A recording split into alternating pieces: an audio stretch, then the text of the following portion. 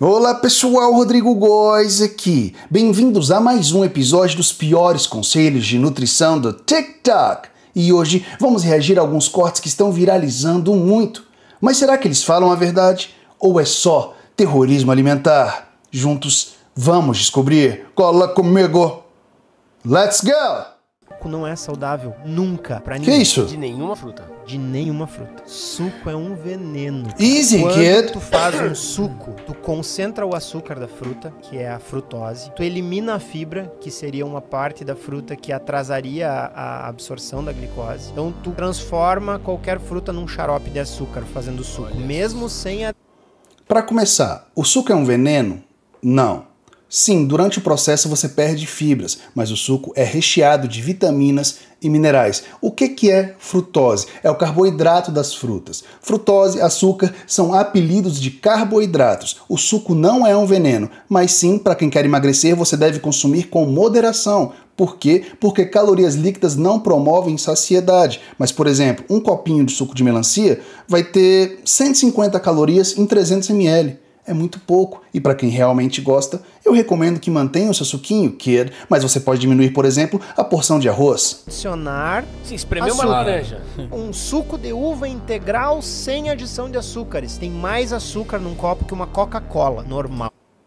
O suco de uva integral é sim rico em frutose. No entanto, ele também é rico em antioxidantes, que pode ser muito interessante para a sua saúde. Novamente, quer emagrecer? Cuidado com calorias líquidas. É claro que é preferível que você coma a fruta, mas quem gosta de um suco vai continuar gostando e não pode se sentir mal, achar que está se matando, se envenenando, porque esse cara está dizendo.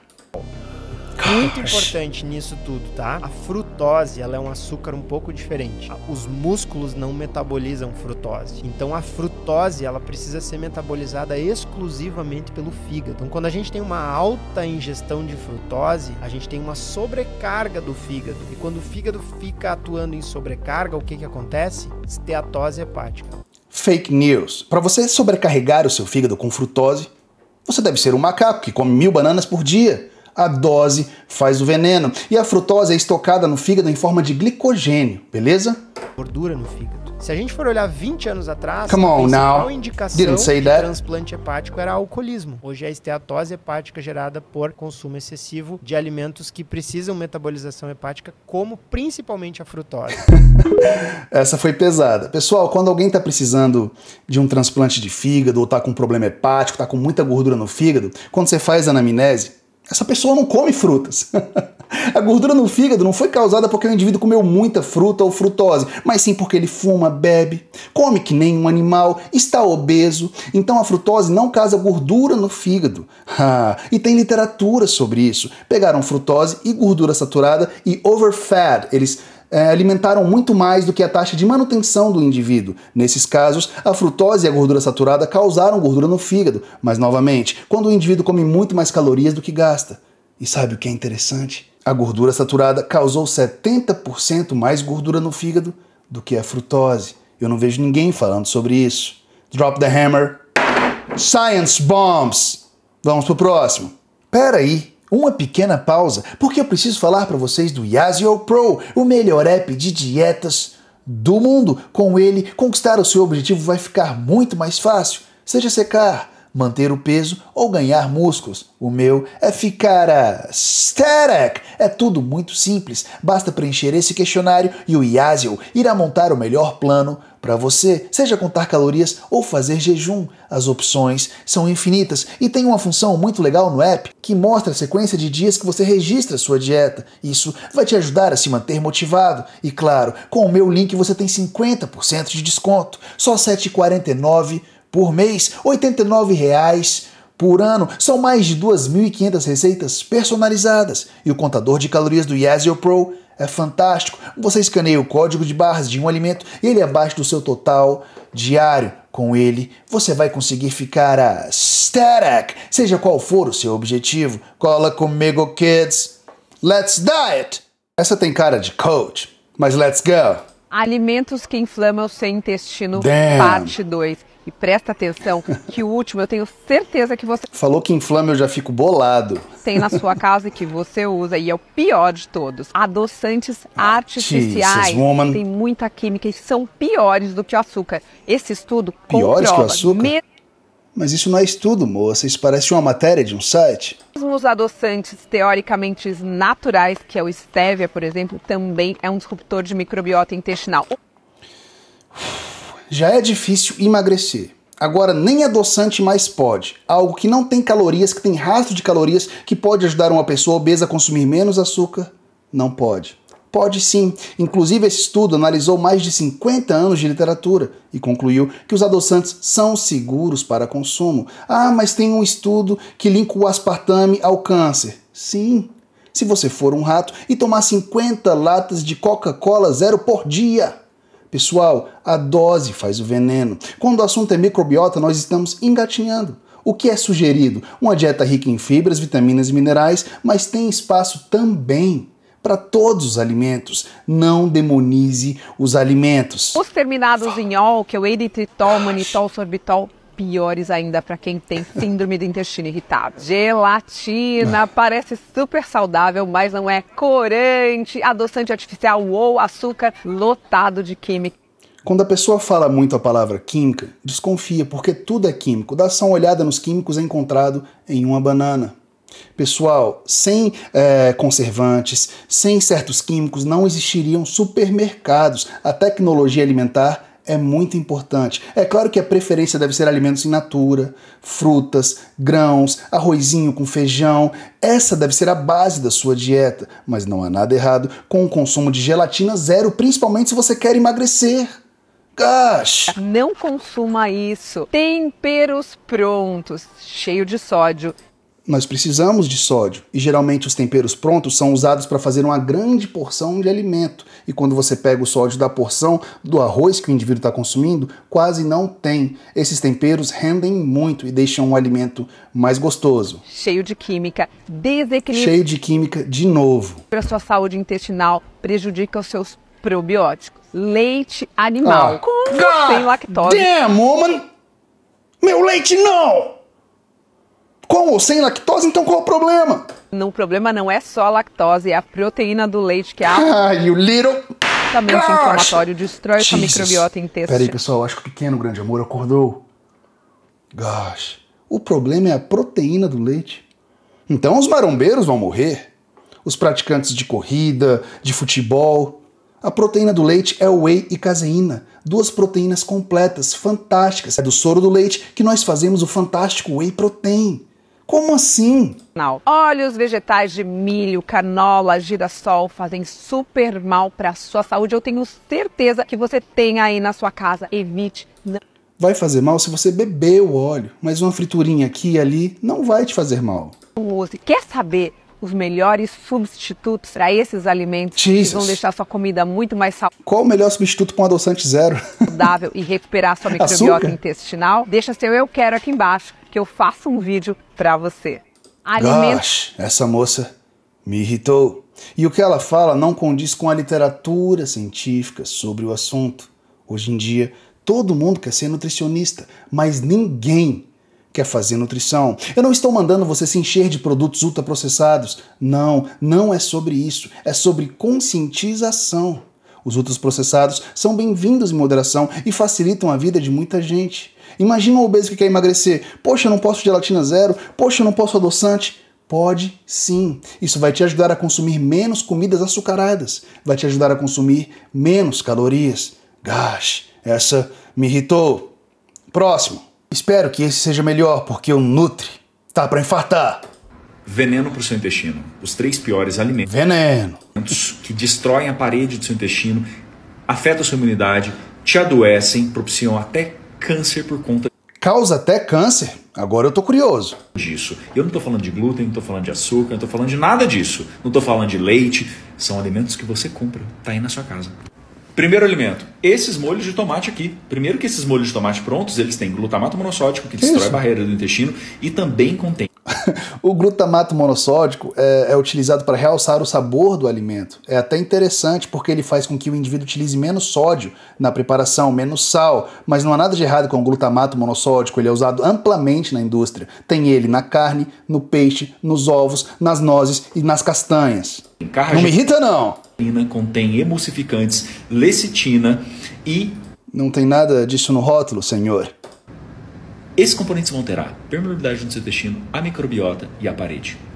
Fake news, não vai alterar nada. A dose faz o veneno. Esse produto da Heinz tem, por exemplo, 60 calorias, 30 calorias em 60 gramas é quase irrelevante e o ingrediente principal desse molho é tomate. Não estou fazendo publi, estou conscientizando vocês que não precisa ter medo de comprar um molho de tomate. Segundo alimento, cerveja. cerveja. A cerveja. Quem não gosta de uma geladinha, não é mesmo?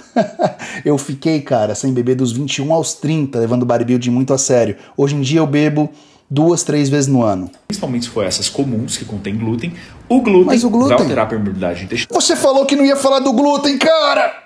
Não, mas o pior, pior do que o glúten é o próprio álcool. O glúten não altera a permeabilidade intestinal de ninguém. O glúten é um problema para quem é celíaco e não consegue digerir adequadamente a proteína do trigo, o glúten. Porque o álcool, sim, comprovado, ele altera a parede do seu intestino e acaba entrando coisa que não deveria. Eita! Ele fura a parede do intestino? Cara, o álcool sim é muito arriscado quando consumido em excesso e ele pode prejudicar muito a sua função intestinal. No entanto, a dose faz o veneno, beleza? Se a pessoa beber muito, com certeza pode ocorrer inúmeros problemas de saúde. E o terceiro, batata frita. Ah, Quando você now. frita a batata, acontece a transformação do amido em acrilamida. E essa acrilamida é cancerígena e altera a saúde do seu intestino, a permeabilidade do seu intestino. É como se abrissem portas ali no seu intestino. se batata frita abrir uma porta no seu intestino, kid, você vai morrer. Quando o assunto é batata frita, nós temos uma literatura legal. Tem um estudo enorme que não encontrou nenhuma associação entre batatas fritas e câncer, mas um outro estudo descobriu que 7 ou mais porções de batata frita por semana pode aumentar o risco de morrer de câncer em 27%. Mas ei, ei, ei, eles descartaram que a batata frita causa o câncer. E os indivíduos que podem morrer de câncer não comem só batatas fritas. São geralmente obesos, comem muitos cheeseburgers, Coca-Cola e não praticam atividades físicas. Então é correto afirmar que você vai morrer de câncer com 27% de chance a mais se você consumir batata frita? I don't know. You tell me, os dados ainda não são suficientes para que eu forme a minha opinião, mas o que eu descobri por meio da ciência é que a batata frita não vai te causar um câncer. Fake news, doctor.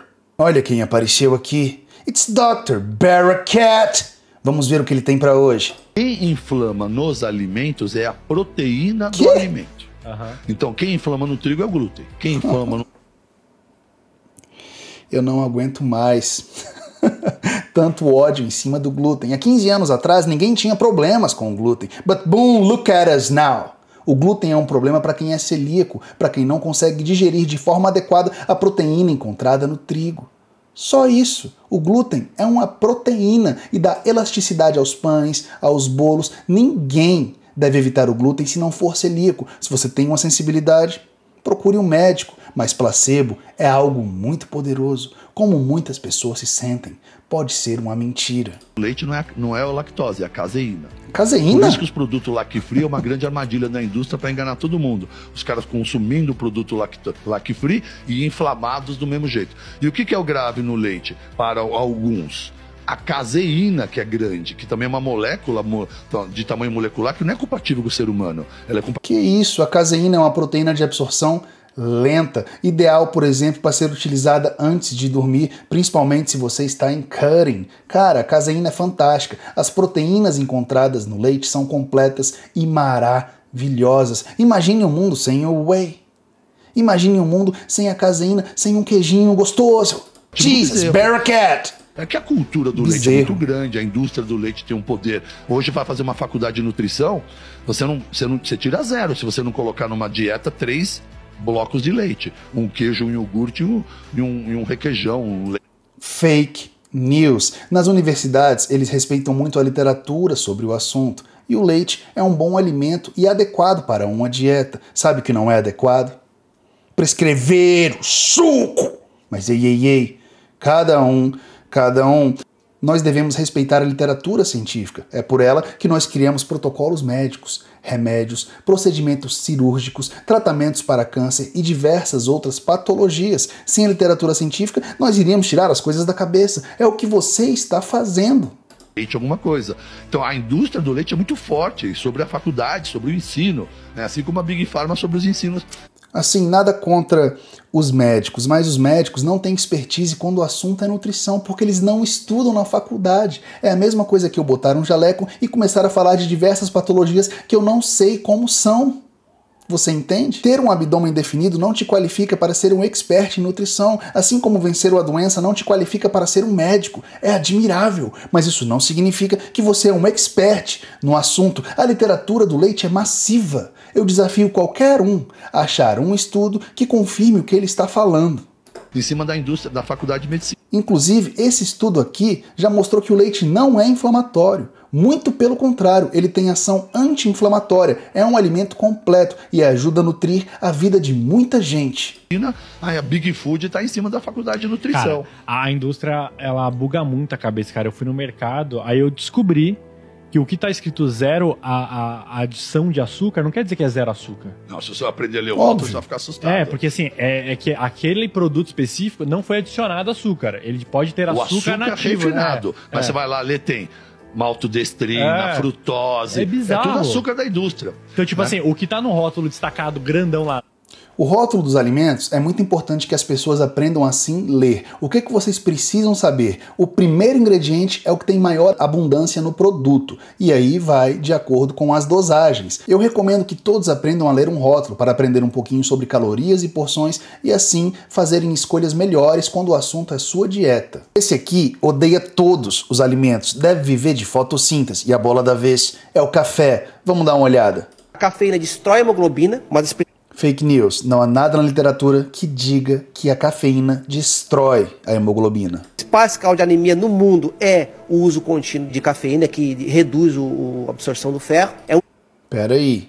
Ele reduz a absorção do ferro. A cafeína realmente reduz a absorção do ferro, mas parece não afetar indivíduos saudáveis, apenas indivíduos que têm deficiência de ferro, que é estimulante deprimente, como eu te falei, a pessoa deprime ela irrita a mucosa do estômago. Se tiver um médico assistindo agora, um gastro. Em excesso, com certeza o café pode te fazer mal. Por exemplo, que, que é mais especialista em estômago.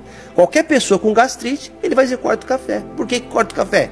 Por que corta o café? Porque o café irrita a mucosa. Quem não, não é tem assim. a gastrite não está sentindo, mas está irritando. Olha só. Tu percebeu? Ela está irritando a mucosa. Você tem que fazer o quê? Usa um café descafeinado. Não. De quando em quando toma o teu café. Você toma todo dia. Você tem suco. A pessoa que toma um cafezinho gosta, mas ela também quer o benefício do estímulo. Quer treinar mais pesado, quer trabalhar em uma performance maior. Então a pessoa não vai querer um café descafeinado. Pode até querer, se for tomar no período da noite. Mas eu mesmo gosto de um cafezinho assim que acordo. Você tem chá, você tem a cevada. Cevada é gostosa. Tem que saber fazer, claro. Senão é horrível também. Tem o suco. Tem um monte de coisa pra te tomar, cara. Não precisa tomar café. Entendeu? Não, não, não, Agora, suco pode. Não tem necessidade do café. É porque é uma bebida. Que não tem necessidade, é maravilhoso. É que é costumeiro e é que é viciante. E aí tu já tem outro jeito de fazer o café, etc e tal, o cheirinho do café. É sim, tudo vício. Tudo vício. Sim. Você pode substituir sim. Mas começa pelo descafeinado. Então, reduza, substitua, use o café descafeinado de quando em quando. Você vai ter uma mente mais saudável. A recomendação do café é de 400 mg dia, e ele, quando consumido nessas dosagens, tem muitos benefícios. Com base nos dados atuais, o consumo de café de 3 a 4 xícaras por dia traz muitos benefícios positivos na saúde, e esses efeitos parecem ser observados com o café normal e também com o descafeinado, mas quem gosta de cafeína não tem problema, mas não passe de 400 mg por dia. Beleza? E aí, o que vocês acharam dessas reações? Concordam ou discordam? Lembrando que o quadro Piores Conselhos de Nutrição do TikTok não é baseado na minha opinião, mas sim na literatura científica sobre o assunto. Se você discorda, coloca o estudo aqui embaixo e vamos debater. Eu não me importo em mudar de opinião. É assim que os profissionais de saúde devem ser. Quando confrontados com dados científicos, não há nada de errado em mudar de opinião, mas não é isso que vemos por aí, não é mesmo? Mas cada um cada um. E se você gosta desse tipo de conteúdo e quer ver mais vídeos como esse, por favor, se inscreva no meu canal, me siga no Instagram e me siga no TikTok Stay Kids, Rodrigo Góes. Oh!